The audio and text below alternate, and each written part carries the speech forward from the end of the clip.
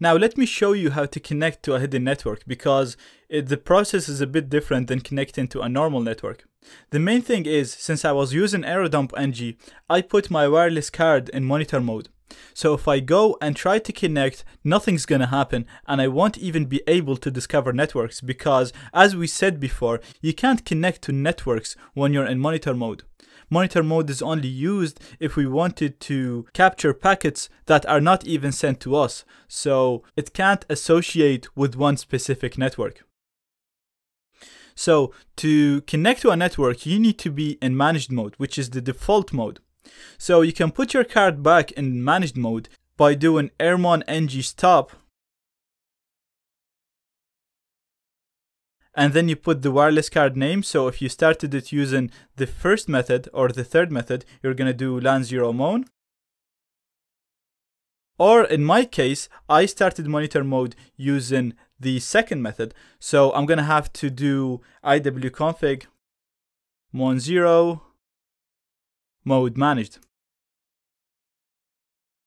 Of course, in both of these cases, you have to bring the card down, do that, and then bring the card up.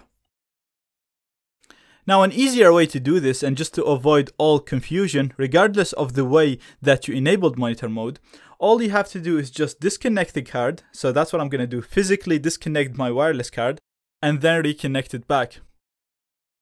Now when you do this, if I do ifconfig, you won't even see the wireless card in here. So we have to go back to the devices menu, USB and attach the wireless card. And for me, it's called Atheros right here. So if I do that, that's going to connect my card again. So if I do ifconfig, you'll see that I have my LAN 0. And if I do iwconfig, you'll see that my LAN 0 is back into managed mode. So it's in the default mode and I can use it to connect to networks.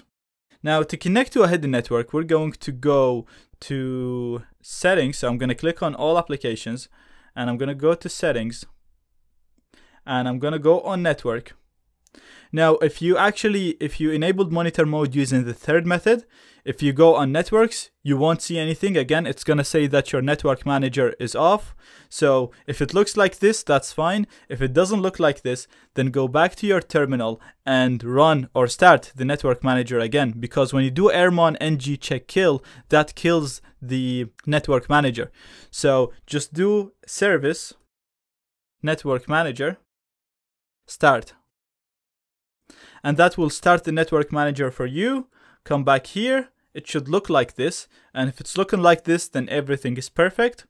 Now, since we want to connect to a hidden network, you won't see the network that you want to connect in here. So you can see that I don't have my target network in here. So I'm to go on connect to a hidden network and then it's going to ask me for the network name. So I'm going to put test AP like we seen. Because in here, if we go back to the result of Airodump NG, you'll see that the name of the network was test AP.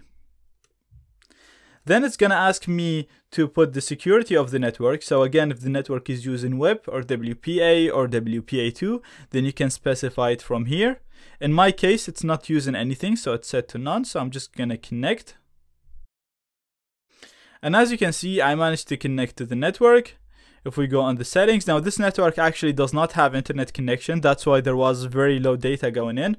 But as you can see, I'm connected to the network. I have a good signal strength. I've got an IP address and I have the IP address of the uh, default gateway and I can do anything I want now on the network because I'm fully connected to it. So when it comes to connecting to a network, you need to keep in mind that your wireless card has to be in managed mode, not in monitor mode. There is a number of ways to do that.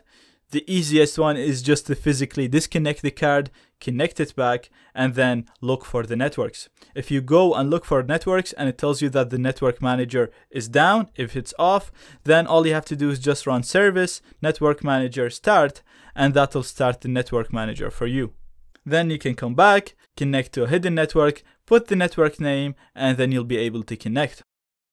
As I said, hidden networks can make a major obstacle because if the network is open, you won't be able to connect. If the network is using a password, then you can't even start doing the attacks that we're going to talk about until you know the name of the network.